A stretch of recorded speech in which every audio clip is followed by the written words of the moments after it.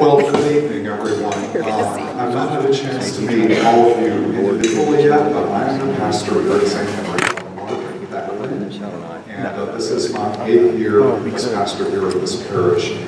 And uh, this great journey that we call RCIA in the Catholic Church is one of my favorite things every year. And uh, so it's always exciting when I see a new batch of people who show up interested in learning more about what Catholics believe, our celebrations, and all that sort of thing. So welcome tonight. And um, I'm going to be doing a number of teaching sessions throughout the year. Uh, but tonight it'll be a slightly different evening uh, because I want to also take a moment to get to know you. So uh, I'm going to give everybody a chance just to stand up and say who you are and also um, whether you're Catholic or not, and what brought you here tonight. So, you don't mind. So, I'm just going to let y'all pass the microphone. Yeah, you're first. Hi, I'm Teresa Kowalczyk, and I am um, a cradle Catholic. Um, I am a transplant here to Nashville from a little um, country town in upstate New York. And I'm here and I love the questions they ask on that form for sponsors. Why do you want to do this? And the first thing I said was, don't know. Um, so, but I thought, well, gee, I've been doing this for 70, I've been this, I've been a Catholic for 70 years. Maybe I have something to offer. My name is Russ Brew. Uh, I'm also a cradle Catholic.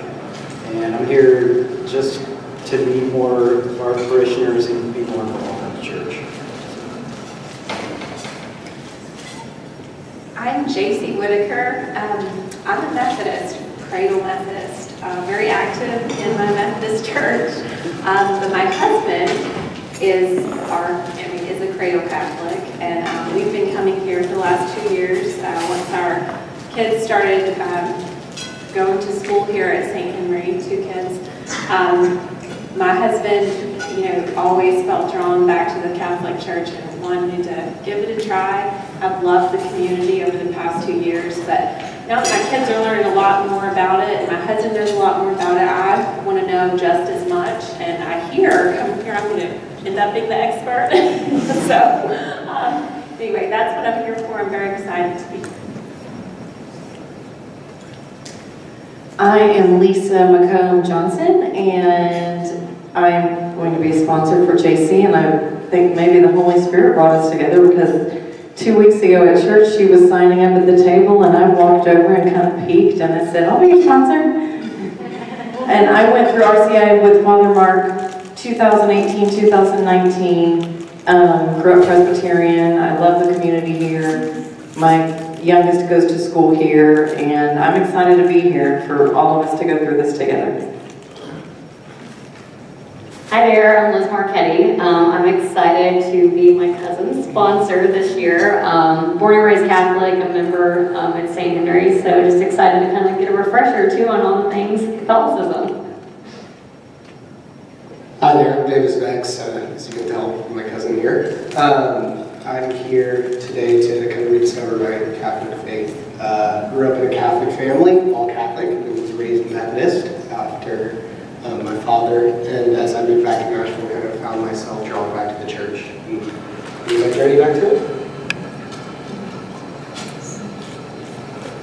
Hi, I'm Suzanne Dillard. I was, I don't know what I am. I was brought up on the corner of Hurst Warner Boulevard and Long Gap Road. I went to a Baptist church. I went to Catholic high school.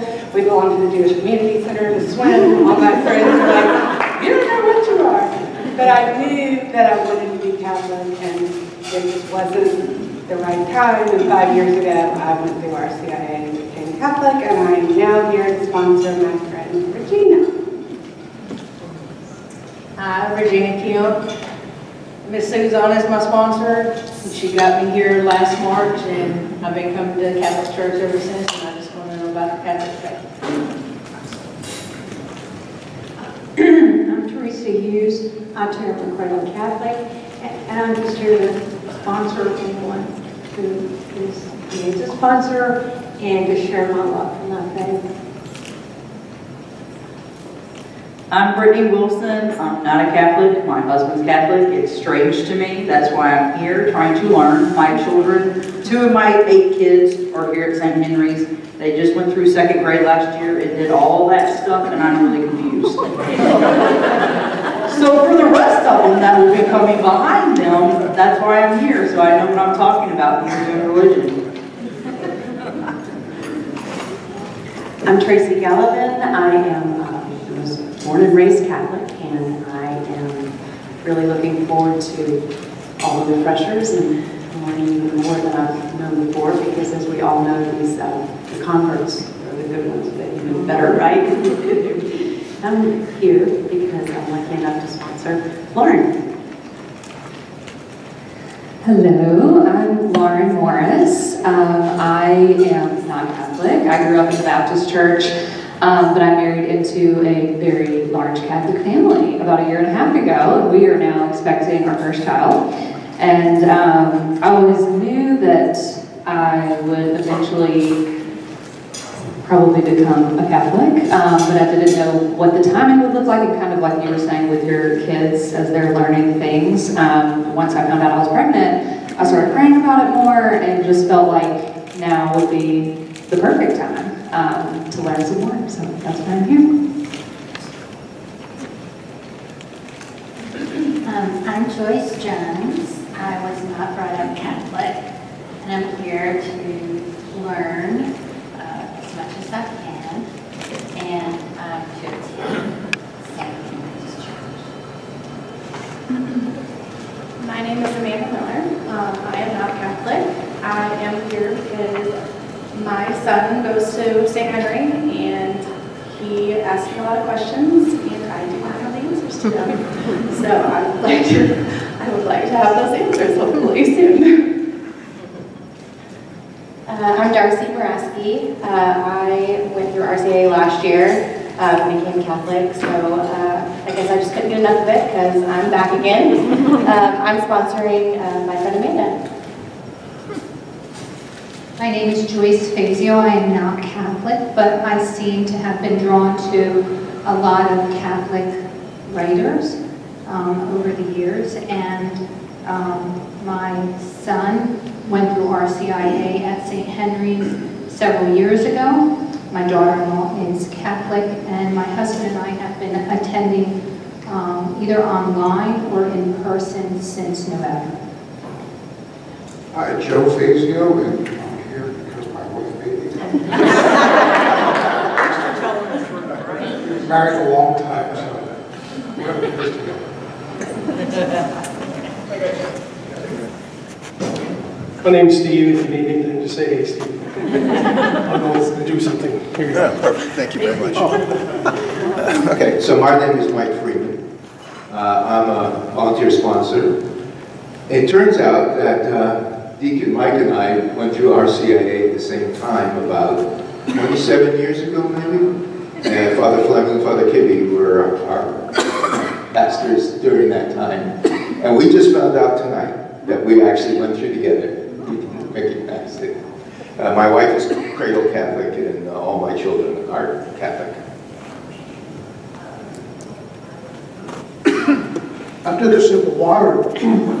And uh, I think it went down the wrong way. I'll let you go.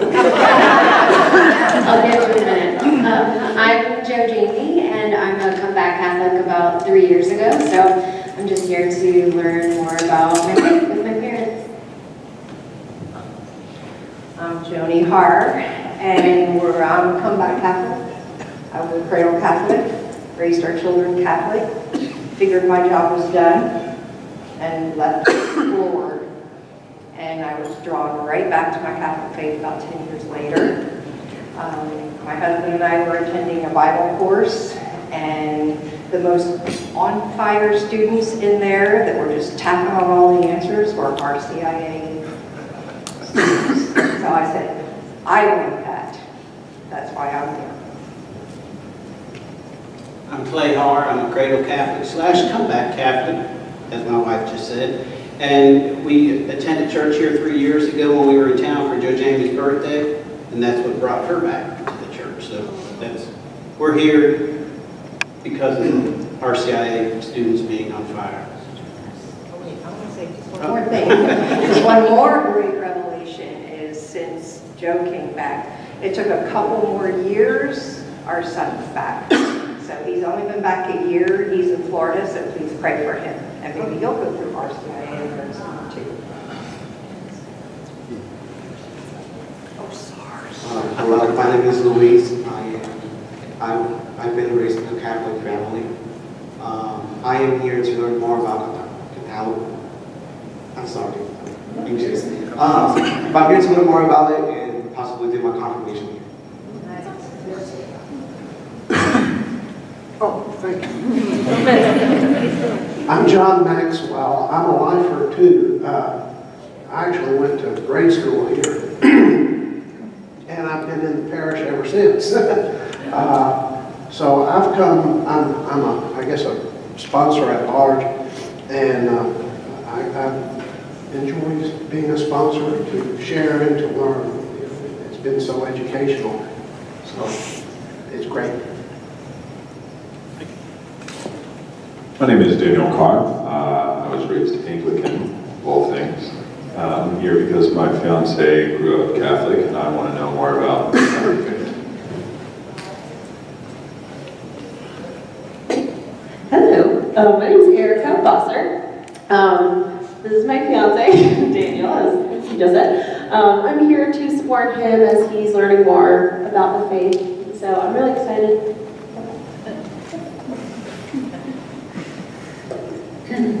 It's easier to be first, isn't it? Um, I'm, I'm Vivian Atwater, and my husband Jeff, and we've just moved from Houston, so everything is new, but my Catholic faith is not. It's the most important thing in my life, and always has been. Um, I have been a sponsor before, I've, I've loved it, and I really feel that even though I went to, you know, Catholic schools, the whole business, it wasn't until my husband became Catholic that I truly began to learn about my Catholic faith. Um, you know, it's just a, a journey that doesn't end right away. So I'm really happy to be here. I'm Jeff Atwater, and um, I converted after marriage, 15 years after marriage. About the time she gave up was when I converted. And I would come home and I'd tell her what we learned and she would argue with me. No, that's not right. We both learned a lot. And I've continued, I've been in RCIA ever since, and it's, it's my favorite ministry, and it's really helped develop my faith. My name is Mary Kate Weary, and I was born and raised Catholic. Um, I'm here to support my husband and get a really good refresher for myself. I'm Alec Weary. Um, like she said, I'm her lucky husband. Um, uh, I've been attending Catholic Mass for about five years with her now, uh, but I did not grow up Catholic and not. Um, so I'm here to learn more and uh, officially here. So. Hi, my name is Fabian Ortega. Uh, I'm born, I was born and raised Catholic. I'm here with my girlfriend, uh, trying to learn more about it, uh, kind of refresh my mind, but also do my confirmation. So hopefully I get to learn a little bit more. Hi, I'm Shelby Bird, and I was born Baptist, um, was raised Baptist. In the last four years, I've been coming here to St. Henry's with um, my boyfriend here, and his family are born Catholics. So here I am. It feels like the right place and the right time. Name is Harris Brown. I've been a parishioner here in our family since 1983. Had five children go through St. Henry's and I think 12 of the 14 grandchildren have gone through. Um, my wife and I are both retired now and want to get involved. I'm hoping um, by sponsoring somebody I can bring somebody to the faith and learn more about the faith myself. I suspect I'm going to learn as much as they do. Um, looking forward to it. Well, thank you all. I know that um, that can be nerve-wracking, right, to stand up and introduce yourself with a microphone. So thank you all for doing that. But doesn't it give us a sense that we have a whole variety of people here tonight, which is what a gift that is um, as we gather tonight. And if you look outside the chairs, you'll also see a circle of people. And many of the other people in the room tonight are members of the RCIA team who are helping to make this journey possible for all of us. So we have lots of helpers, and you're going to hear some announcements from our new director of this program. But Deacon Mike Catalano uh, has received the baton of leadership in this program from his wife Janet, who did it years here at St. Henry. And uh, so I'm delighted to have Deacon Mike as our new chair of our uh, RCIA ministry. So um, someone said tonight, as he was coming around to the tables, they said, you do a lot. He does do a lot. So I'm very grateful for his ministry here at St. Henry. Um, this journey really is a journey, it's a process, and uh, all of you come from different places. And the whole point of this experience is to share with you a bit about what Catholics believe uh, and to allow you to develop your own understanding. I'm going to be inviting you to bring your questions. And uh, I'm part of this process every year. And I invite people to ask questions whenever you have them. So if a question pops into your mind and you want to ask it, ask the question. But we're also going to be providing you with note cards at your tables so that if you have questions that you want to write down, you can write those questions down and then uh, they'll give them to me and I'll have a chance to think about them before I come back again. So not every question will I be able to answer on the spot. Some of them will require thought and or investigation, but I will do my best. So um, it, this is an open-ended journey. So some of you all are going to be here for a number of weeks learning more about what we believe. And at some point in the journey, you may decide, you know, I, I think I've found enough. I'm done. Uh, for others of you, this may be a journey that you find yourself this coming Easter receiving uh, the sacraments of baptism, confirmation, or First Communion of the Catholic Church. So it, it, there's no pressure on you to make any particular decisions at any point on this journey. This is a, a process that respects every single individual's search. And I will tell you, we've had a, an individual who's been here, how many years? Four or five years to every single evening. And he still hasn't decided to become Catholic yet, but he loves coming and he's come back over and over again. So he's still open, he's still searching, and uh, that's okay too. So um, we invite you during this journey to get clarity about what we're teaching, to learn more, and also to get inner clarity for yourself. Is this what I'm being called to be, become part of? So that's the kind of the double discernment that, that often happens. And some of you may be sitting there thinking, you know, well, I'm just here to find out more. I have no desire to become a Catholic. I just want to know more. And you're most welcome to be here in my place. Some of you may be in the place of saying, I've already made my decision. I'm just here to go through the steps and stages. That's okay. You know, wherever you are on your personal journey uh, is perfectly wonderful. So uh, I always like to begin this with um, a broad introduction to Catholicism. And this will actually come in two parts. So I'll do part one tonight, and then I will do a second part in a couple of weeks. So tonight I'm going to be speaking a bit about Catholicism as sort of a world view, how we see reality. And then in a couple of weeks' time, uh, we're going to be diving in a bit to the history uh, that where we come from over these past couple thousand years, and a little bit about the things that make us distinct from uh, other groups of Christians in the world. So tonight we're going to focus on some of the things that connect us together. And um, in between time, next week is the tour of the church, right? So I always think a hands-on experience of going through a Catholic church, seeing all the important symbols, getting a sense of their, their background, their purpose, their meaning, being able to ask questions about the space where we worship is also a great way to get to know the Catholic community. And I know Deacon Mike is probably going to say this later because I cheated and saw his notes ahead of time.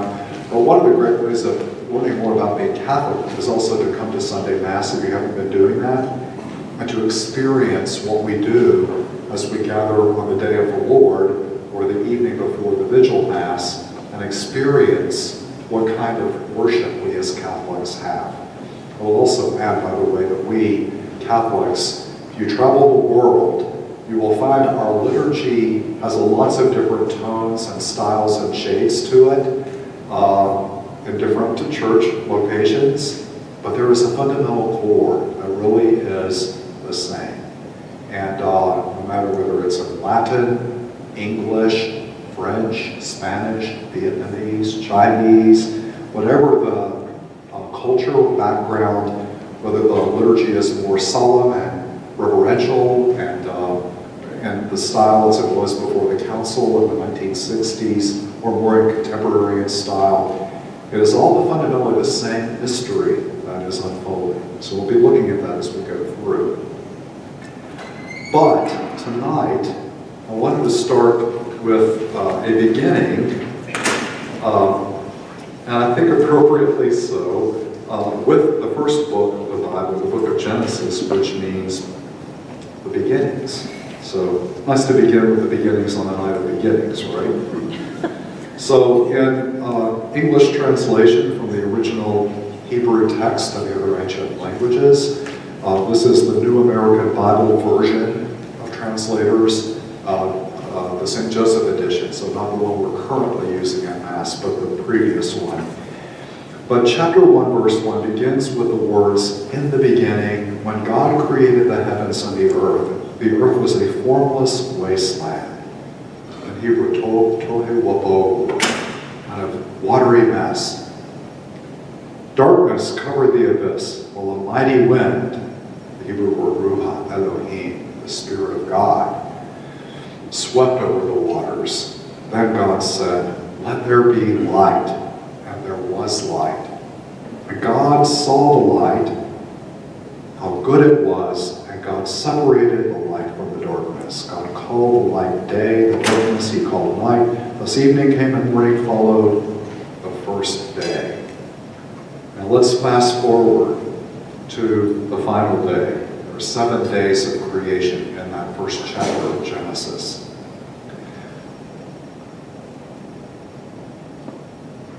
Since on the seventh day God had finished the work he had been doing, he rested on the seventh day from all the work that he had undertaken. So God blessed the seventh day and made it holy, because on it he rested from all the work that he had done in creation. I want to back up a bit before that comment even. God looked at everything God had made and found it very good. Evening came and morning followed, the sixth day.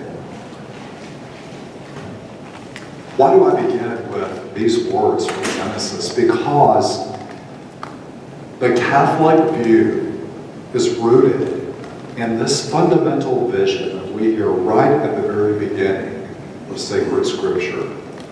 God creates everything, the whole universe. There's nowhere that we can go to the farthest limits of the cosmos that it's not created and held at bay by the purposeful love of God. And God looks at everything God made, and God says, it's very good. So we Catholics, the word Catholic, by the way, means universal. So we have this universal big picture of everything in this whole giant cosmos and you know, modern scientists believe this universe is about 12 to 15 billion years old. Planet Earth is a tiny speck of dust, right? There's a million, the sun itself, the nearest star, is a million times, I think, bigger than, than the Earth. We're this little solar system in an arm of a galaxy, the Way galaxy, one of innumerable galaxies. And you know, we have a new telescope now uh, floating around our planet that can see further than any telescope in human history. And that means because light takes a long time to get here, we can see further back into time to about 12 to 15 billion year, toward that starting point uh, as all that stuff began. And so to think about this for a moment, and to imagine that the moment that we exist in time is just a mere speck, even if we live to be 120 years, uh, a tiny speck in the chronology of this universe. But God looks at everything and God says it's very good. We Catholics have a fundamental trust in the goodness of everything God created. So we see the fingerprints of our Creator on the hands of everything God created. So that's why we are very comfortable as Catholics, by the way, in bringing creative things into our places of worship. So when you walk into a typi- typical Catholic church, we love things like art and music. You'll see stained glass windows, uh, icons and statues. You'll smell incense. You'll experience all the senses are touched. The ringing of bells, uh, the splashing of water, uh, the sound and smells of, uh, of all the candles that have been burning through the centuries, you know. When you go to a really old church and you walk in, there's a certain smell. I grew up at a little Gothic church in southern Middle Tennessee, Sacred Heart Church in Lawrenceburg, and that was built in the 1800s by the German immigrants. And they built it from, they made bricks on the property, built it from hand, built the old high altars out of the wood, stained it, and when you walk in, you smell the smell as a kid. As the, all the years of incense and candles created this, for me it was like a sacred smell, you know. Walk through the doorways, you feel that you're in a sacred place. So we Catholics are really comfortable bringing created things into our worship because everything in creation is fundamentally good. Now, I will note this is a funny story. I have a friend who has a, had a granddaughter, and the grandmother is reading the children's Bible about God creating the world, and says to her granddaughter, "Isn't this a beautiful uh, creation? You know, look how wonderful it is." And uh, the grandchild says, "Read on, Gramps, it gets worse." she had heard that story before. So indeed, uh, and, and we will be speaking about that further in. But there is a moment in time in history when humanity turns aside from the created purpose of God. And the effect of that has rippled and touched all human beings. Uh, you and me have all been affected by that. And because of that, even though creation is fundamentally good, there is also a core woundedness in this world that we live in. And I don't have to prove that to you, right? All you have to do is watch the evening news. One evening would do, and you'll see things are all not perfectly good out there, or in here, right? If we're truly honest with ourselves, we recognize, yeah, you know, I may be fundamentally good because I'm created in the image and likeness of God, but I am not 100% where I ought to be yet, right? Unless I'm a saint. And uh, I'm not there yet, so. Uh, so the word Catholic comes from a Greek word, katholikos. And uh, it comes from the word that means universal, katholad, uh, over the whole inhabited world. So uh, in the ancient world in the Roman Empire, as Christianity began to spread throughout the Roman Empire, it spread very quickly, by the way, in the first few centuries. Um, you know, you might be a Christian in the city of Corinth, you might be in the city of Alexandria, you might be in Rome, whatever city or village or local Christian community you were part of, you were connected to that body, the local body of believers, but you were conscious that you belonged to everybody that belonged to Christ. So the great body of believers in Jesus Christ throughout the whole world were Catholic, right? Universal. So I'm not just part of this little community of St. Henry, I'm part of this worldwide body of believers who believe in Jesus Christ. The other word that they would use in the ancient world is the Orthodox Church. What does that mean? Orthodoxy, right praise. So right worship, right belief later on. So, so the church throughout the world, everywhere, all Christians worldwide in the ancient world believed themselves to be part of something bigger. So the whole body of believers in Jesus. So that's why the word Catholic was used early on. How early do we have a reference? So the first uh, reference we have to it is uh, a person by the name of Ignatius in the city of Antioch. He was a bishop there, and he died around 107 AD. So Jesus died and rose from the dead so circa around 30 AD. So within 80 years after the resurrection, that term, katholikos in Greek, is being used to describe this great body of believers, what we might call the great church, that includes everybody. Somebody, by the way, defined Catholicism as, here comes everybody. And that is one of the things that I love about being Catholic is that you can travel the world wide and no matter what language or country you're in, Catholics belong to this big body of believers. I will also add, by the way, that I think at this time in human history that's more important than ever because our world is becoming increasingly tribal. So people are getting divided against each other. You know, this great project of human civil, Western civilization, human civilization, so long in the making, uh, there's a lot of tensions out there, aren't there, in our world today? A lot of forces that would seek to break human beings apart from one another into small groupings, sects. I don't know that the human family can survive that very well in the modern world with all the technology. So we are at a, uh, an important moment in the history of humanity. And so to be reminded that we belong to each other and the biggest sense of that belonging is so important. And that's one of the beautiful dimensions of being Catholic.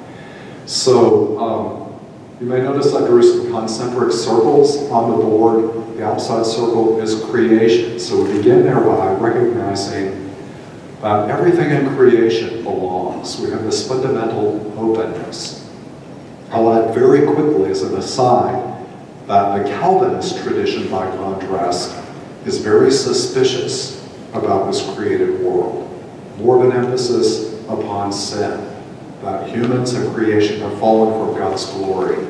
And so they're more distrustful of things apart from God. And uh, that's why if you go to a Calvinist church, there's not a lot of creation brought in. It's simple, stark, and empty. But I will also add this. Even in the Catholic Church, you could go to a Trappist monastery and see a very simple, stark church. It's very simple, elegant simplicity. So we have this you know, big tent as Catholics. So um, as we move in from that sense of all of creation, there is a sense in which we Catholics, with our open-ended Catholic universal glasses, recognize that we are intimately connected with every human person in the world. Every single person that has ever been created from the very beginning of human history until the end of the human race, whenever that shall be, each, we believe, each and every human being has been created in the image and likeness of God. And at their core, the core being, are good because they are creatures of God, sustained in being at every moment by the creative power and love of God. So we human beings, um, more than ever, are on this great journey uh, in some ways responding to our Creator. It's part of the great mystery of being human. Let's think about, for a moment, everything else around us in creation. Mountains, rivers, oceans, rocks and trees, snakes and scorpions, and dogs and cats and horses and whales and crows and everything else. All of those things are good just because they exist. But none of those realities, as far as we know, have the ability to choose to say yes to the Creator and to respond to that grace. So in the visible creation on this planet, we're the only ones who have the capacity to either say yes or no to that beautiful gift of our Creator. So we're unique in that sense. And we believe in spiritual beings called angels who also have the gift of free will. And some have chosen to be in communion with our Creator, and some have chosen to turn aside, as did our, our first parents. Uh, so we'll talk more about that later. Uh, but there's a sense about the fact that all human beings on this planet, that we're all called to work together.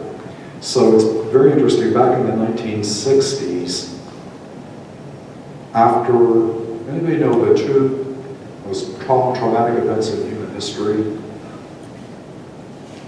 Well, if you had to guess, I'm a history major from college, so that's my undergraduate degree. Give me a, one of the worst, most traumatic events in all of human history. Holocaust. The atomic bomb going off in Japan, which ended, or almost ended, the Second World War. You know, all human, you know, the whole planet was, was engulfed in war. All around the globe, almost. There were a few exceptions, but, but wow, the 20th century saw two world wars, and the second was far more extensive than the first, far more destructive. Great numbers of people died. So uh, the war ended in 45, and 20 years later, actually a little less than 20 years later, in 1958, as the head of the Catholic Church, John 23rd was elected Pope, and very shortly thereafter he made an announcement that they were going to have this worldwide gathering of the church, an ecumenical council, the 21st of them in the history of the church. They had not had one since the 1800s, the First Vatican Council, and he convened them in 19, October of 1962, 60 years ago this month. Bishops from all over the planet, the largest gathering ever, gathered together. They said it was the largest meeting in human history up to that point. A meeting, not just like a single gathering, but an ongoing meeting that unfolded over three years. And Pope John 23rd, coming out of the experience of this great world war, began to write letters not just to his brother bishops, but in some of his letters, he addressed them to all people of goodwill. One was about peace on earth. John, uh, Paul VI, the Pope who followed him, writes similar letters on the progress of the peoples. How will the wealthy nations of the world help other parts of the world that are less developed and still struggling in great poverty? This is the end, by the way, in the 1960s of the colonial era. So things like this, they began to write about these big questions. Human rights, respect for life, the dignity of the human person. When the popes began to write these letters, they began to address all people of goodwill everywhere. What do they do? They said, let's work together to build respect for human life, respect for the dignity of the human person. Let's build a world that is more just, that is more peaceful, that is more understanding, where all human beings everywhere are able to attain their full development as God created them to be. This was the vision, you know. So when I draw that circle in from all creation, we Catholics have this intuitive sense that we may have a certain bond together, but we need to be connected to other good people of goodwill everywhere who are trying to do good things for humanity. And I will say more recently, Pope Francis uh, has reignited that, that energy also around caring for this planet that God has given us. So the precious earth that is our home world, um, this care for the creation entrusted to us by our Creator, Pope Francis has invited all people of goodwill everywhere, all over the planet, to work together to take good care of this home that we've been given. So, so we as Catholics, we have this very deep awareness that we are connected to human beings everywhere. On a more intimate level, though, we do believe that we share with uh, people who have an experience of faith or belief something deeper. So people throughout the planet who believe that what you see in front of us, this material world, there's more to life than this. We're not just here to make money and to have kids and to put food on the table. There's something more in life. Uh, Deacon Mike was talking about that when he stopped by the table for the first half of life. You know, we're trying to get what we need to live, you know, in education, family, kids, car, etc. But in the second half of life, we have to start giving back, you know. It doesn't mean you can't give when you're young. You should start giving, you know, whenever you can. Because the core mystery of life is about self-giving love, right? And it's not about what we acquire in life. It's about the generousness with which we love. So everything in creation is to help us to do that more fully. So people who believe that there's something more, that there is a sacred mystery, the one we call God, uh, we journey with this trust that there's something bigger than the visible creation. And so this binds us together with believers all over the planet. Buddhists, Hindus, uh, people who have had a variety of primal expressions of the experience of the mystery of the sacred or the divine. We're somehow connected to them in a deeper way than we are with people who don't believe in anything beyond. You know, they're all in it for themselves, just me and mine, you know? Um, but we certainly are bound more closely with those who believe that there is only one mystery of God. So we call them monotheistic religions. And there are three of them, three great ones in the Western tradition. All of them trace themselves back to Abraham. So the Jews, our ancestors in the faith, I'll say more about them in a moment, uh, the Muslims, and also the rest of the Christian world. So those three great Abrahamic traditions all believe in the oneness of God. Now, we do have a very special bond with our Jewish ancestors. So we're very aware of that because uh, we share the same great story of liberation that begins with the call of Abraham all the way until the birth of Jesus and his death and resurrection. So Christianity began as a movement within the Jewish faith, and when you see Jesus, he is gathering uh, the lost children of Israel, and he names 12 apostles to recreate the 12, the 12 tribes of Israel. So it's only after his death and resurrection that that burst forth very quickly, I will add, and non-Jews begin to hear the good news and want to be part of it. So, so this deep bond that we have with our Jewish brothers and sisters is forever going to be a connection. So all of us have parents, we come from parents, and Christianity is born in the great faith tradition of Judaism. So uh, Jesus was Jewish, he practiced the Jewish religion growing up. His mother and father were Jewish. All the first apostles, followers of Jesus were Jewish. Virtually everybody we meet in the gospel narrative, with some very profound exceptions, are all members of the Jewish community. And when, when it's somebody that's not Jewish, the gospel writer, he, he's, certain to tell you, well, she was a Canaanite woman. She's asking Jesus for a favor. And Jesus says, well, I really only came for the lost sheep the house of Israel. And she says, yeah, wait, wait a minute. Even the dogs get eat the scraps from the table. And he says, wow, woman, you have great faith. Trust, your daughter is going to get well. So he sees her faith as a, and she's not even part of his people, and her desire to have her daughter healed is granted. So you have these profound exceptions, but we have this deep connection with our Jewish tradition. But I will say, we have a, a much more intimate connection with all other Christians. Why? Because we share a core belief that Jesus himself, born of the Virgin Mary, suffered under Pontius Pilate. We're starting to recognize some words. This is the ancient creed. Uh, was crucified, died, and was buried, and rose from the dead on the third day. We believe him to be God from God, light from light, true God from true God. So the dying and rising of Jesus Christ, his salvific life, death, and resurrection, the mystery of his incarnation, becoming human, his gift of the Holy Spirit, and his return at the end of time in glory. This is what binds us together with all Christians everywhere. And into that great mystery, we are baptized. We have the same 27 books of the New Testament, the same four Gospels. Now, so there, I always say there is far more uh, that unites us than that which makes us separate from each other. So we should never forget that, by the way. There's a core of unity that is quite profound. So um, this is part of the core mystery.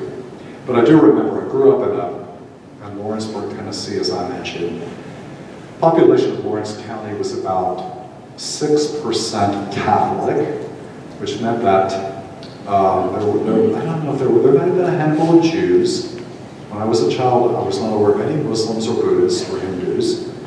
Uh, so that meant that the vast majority of the population of Lawrence County was some form of Christian other than Catholic. Very few Orthodox or Eastern Christians that I was aware of. If you had to have me guess, the most of them, lots of Baptists, lots of members of the Churches of Christ, lots of Presbyterians, Lutherans, um, a few Episcopalians down there. And so we had this variety. Uh, we had a little church of Jesus Christ of Latter-day Saints, the Mormons. More about that later, I suppose. One of them stopped at my door when I was a teenager. with some Catholic. That stuff. So, you know, uh, but anyway, so we had this variety of Christians. And I went to a public high school. Went to a Catholic elementary school, about 80 to 100 kids. Went to a big public high school, about 1,000, 1,300 students, 300 plus. Day one of school, I'm in my homeroom, and one of my uh, table mates looks over and says, you're a Catholic, aren't you? And I said, yes, I am.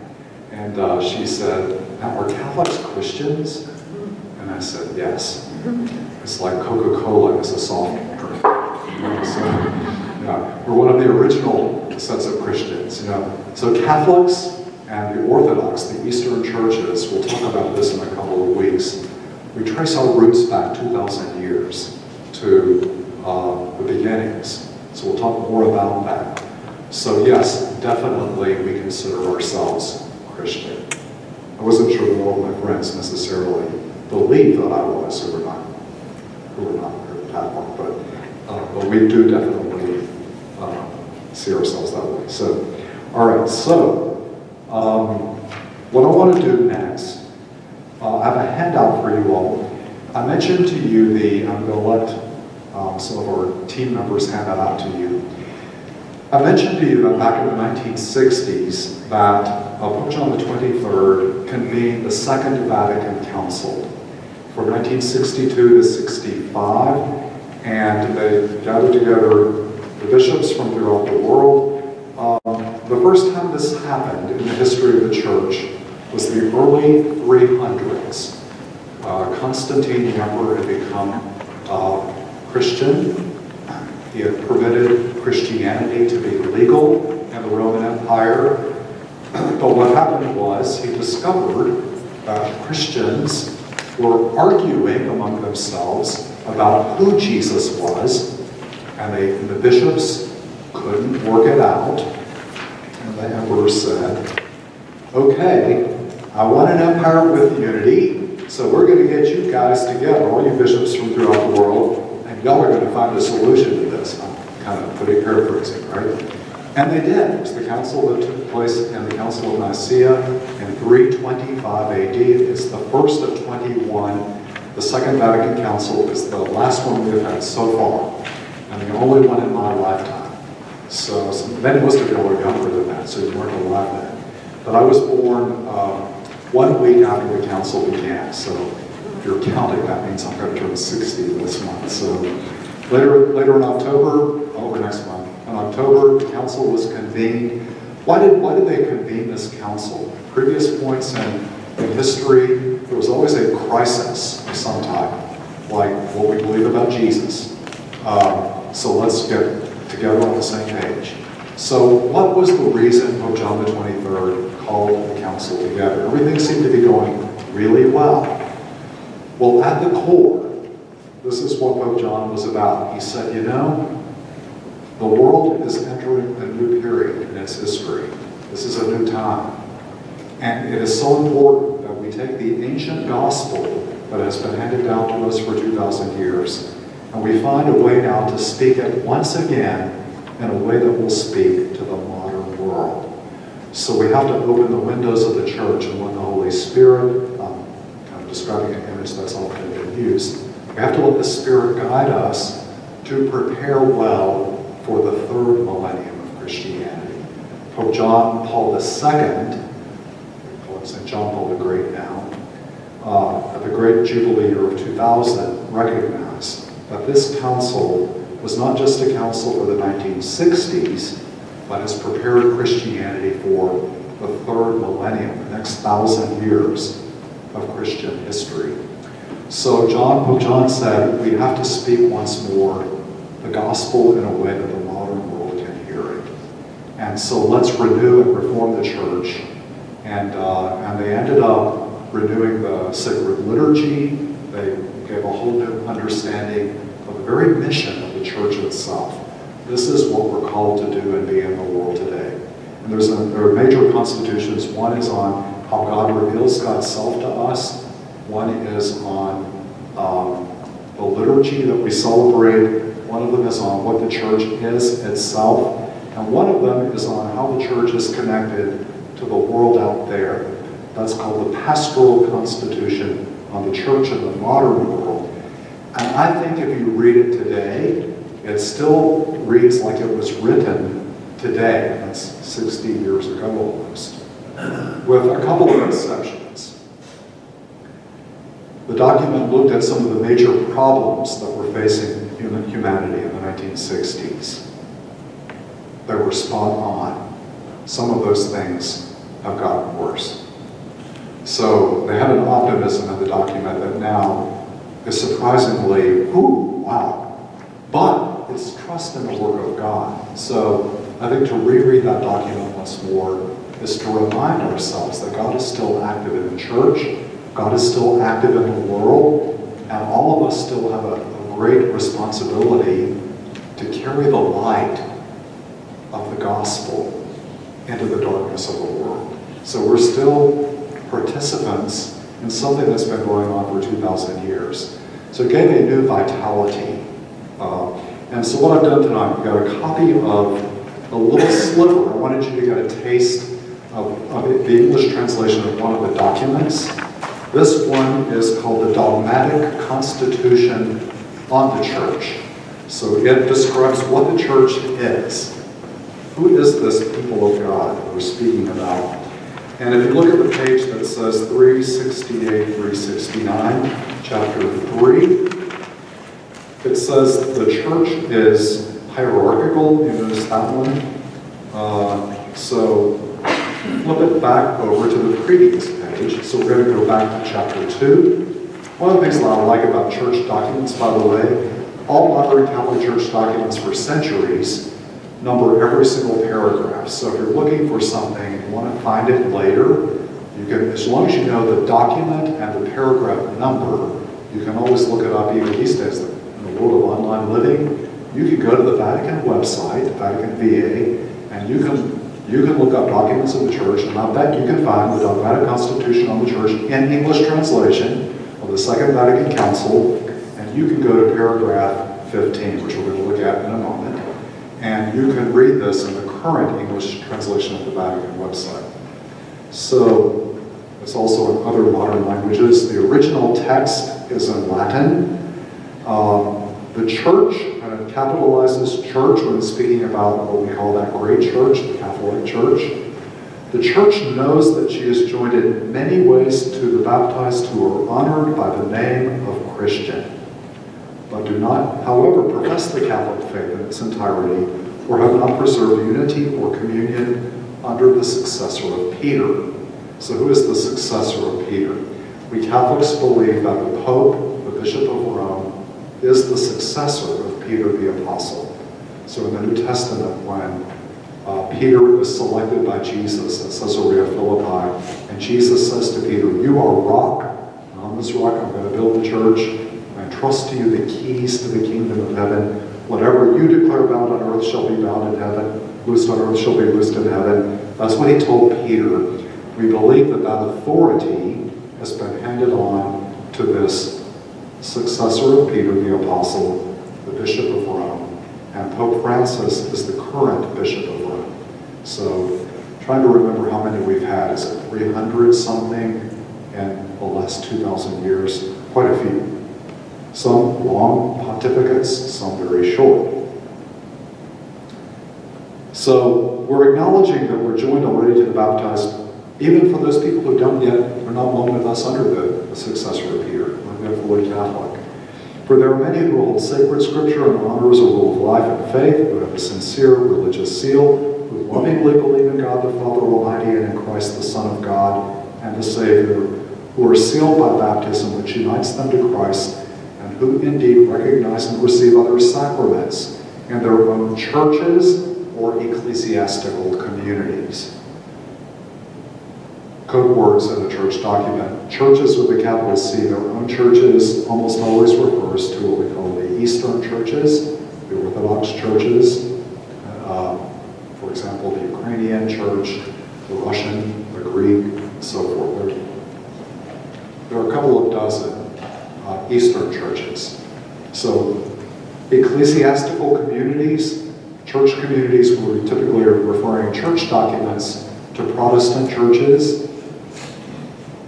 Many of these, many of them churches or ecclesiastical communities, possess the episcopate, that, is, have bishops. They celebrate the Holy Eucharist, and they cultivate devotion of the Virgin Mother of God. There is furthermore sharing in prayer and spiritual benefits. These Christians are indeed in some real way joined to us in the Holy Spirit, for by his gifts and graces, his sanctifying power is also active in them, and he has strengthened some of them even to the shedding of their blood. So we know that many have died for the name of Jesus in a lot of different Christian churches around the globe. And so the Spirit stirs up desires and actions in all of Christ's disciples in order that all may be peaceably united as Christ ordained in one flock under one shepherd. When I was in college, I went home to Lawrenceburg and I saw my Italian grandmother and um, you know, we had we changed the mass from Latin into English and you know, we were singing songs they used to sing in some of the Protestant churches and so forth. And my grandmother says, you know, the next thing you know, we're all going to be one. And I said, well, isn't that sort of what Jesus prayed for at the Last didn't he say, I pray that all of my followers may be one, Father, even as you and I are one? So one of the distinctive characteristics of being a follower of Jesus is that we're one with each other, right? So, uh, by the way, we'll talk a lot more about this in a couple of weeks, how did Christianity get divided? I will say this, the great movement in the 20th century to bring Christians back together, started in the Episcopalian Church.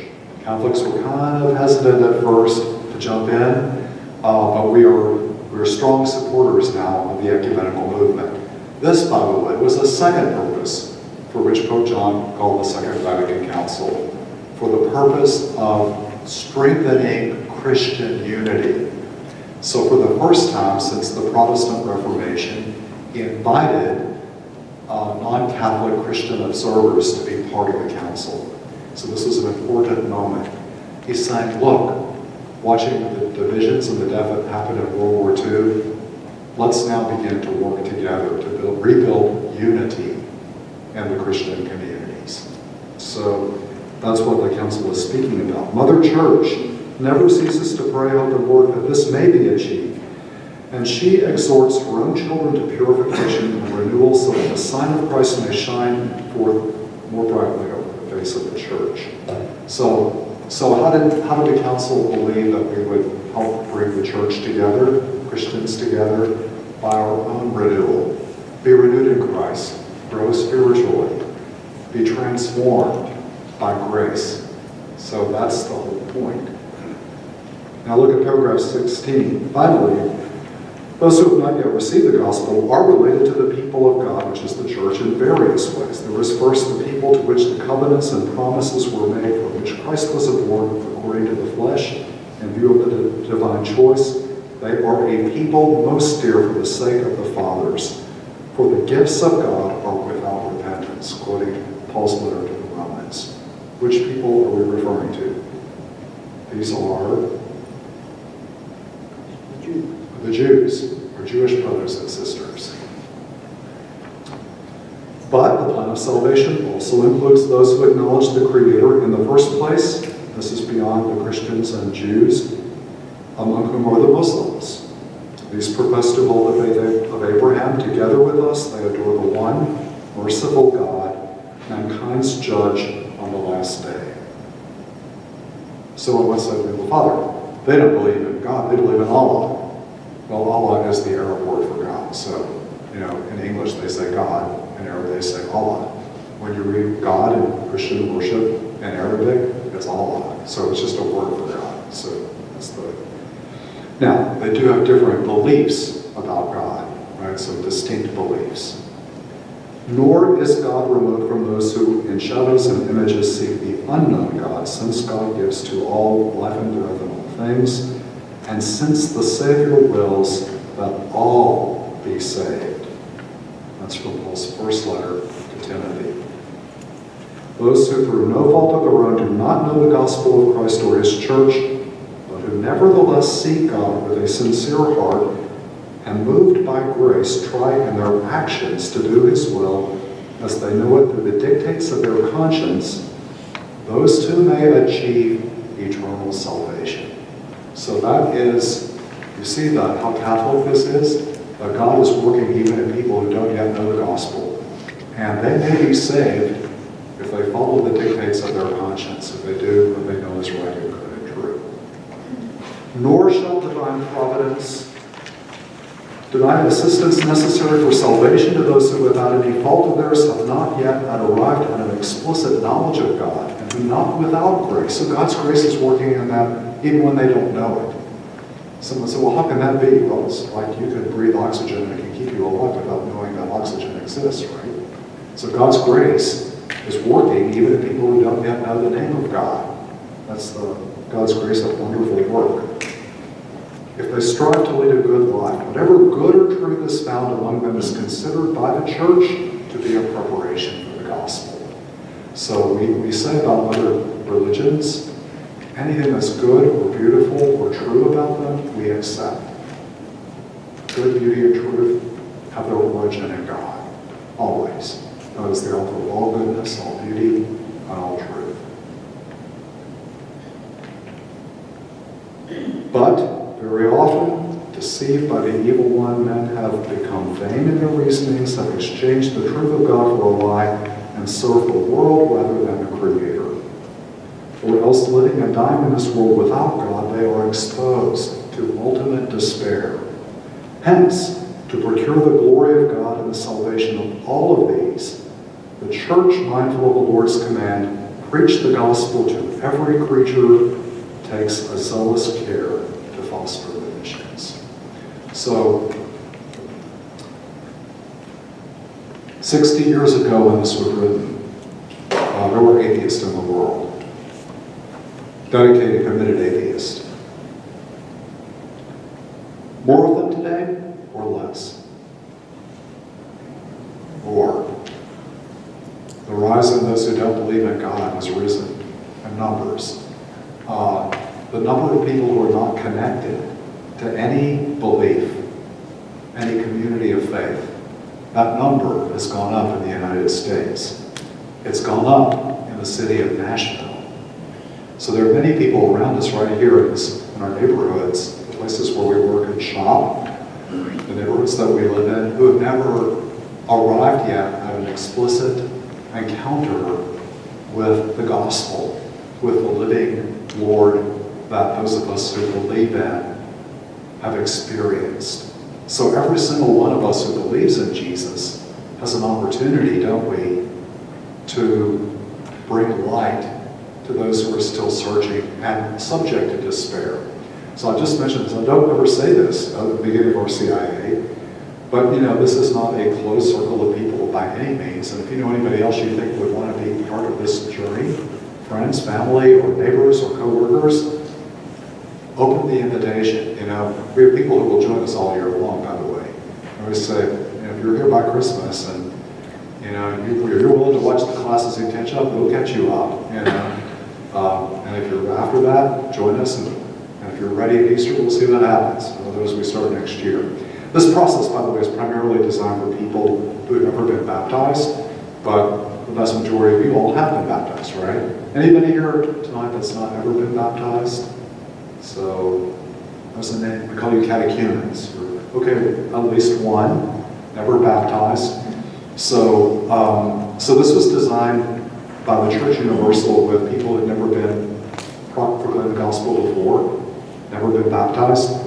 But in the United States, it's become very open, so it's open to anybody who is seeking, is this, does this Catholic community, is this the place where I want to find my faith out?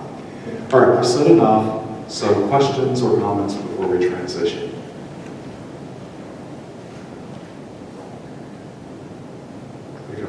really tell I love being Catholic. I love teaching about the church. So our Deacon Mike has got some housekeeping items that he's going to go over with us.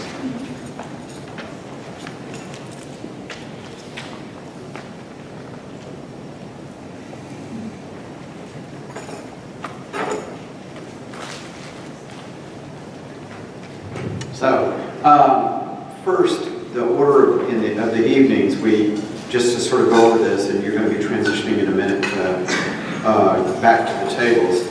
You check in for dinner is as early as 6.15, and we encourage you to come. Then uh, dinner begins at 6.30, and you'll be at designated tables. And the reason we're doing the designated tables is to, every week we mix you up so that you get to know uh, everybody here uh, by the end of the year. It works. Uh, eating dinner with people is a way of bonding. Um, then uh, the talk begins, Father Mark's talk begins at 7 o'clock, and about two minutes before 7 I'll ring the bell. It means to, to come up here and sit as you're sitting now. Then uh, after it's over, after he's done with this talk, there, you go back to your tables and there's uh, questions uh, that we want you to discuss with each other uh, for about 20, 30 minutes. We stop at 8.30, okay? Uh, so if you can't make a session, you can watch it live on Zoom. There's somebody watching it on Zoom right now. Um, if you can't watch, and they'll also do the discussion questions with the people on Zoom. So it's, it's a uh, very convenient thing. And if you can't watch the live stream, we have a recording uh, of, the, of, of the session. In other words, we take that and turn it into uh, YouTube, and it, it's, there's a link on the web page. Um, we don't take breaks during the talks, but as I could see, some people were getting up. The restrooms are just around. You just go out that door, that door, and there. The restrooms are sort of back behind us. Um, there will be at the end of this session a notebook with Catholic updates, and this is for the, I, we call you at this point inquirers, which I like that, an inquirer.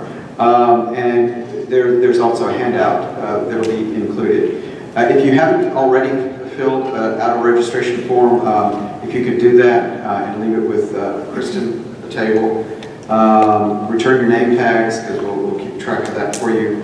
Uh, the note cards, as I said, or Father Mark has already said, are for questions to be answered by Father Mark the following week. So you're going to have questions, but then there's blank cards. If you've got a question you want him, you know, want him to ponder, as he said, then write it on there and just leave it with us, and we'll get it to Father Mark.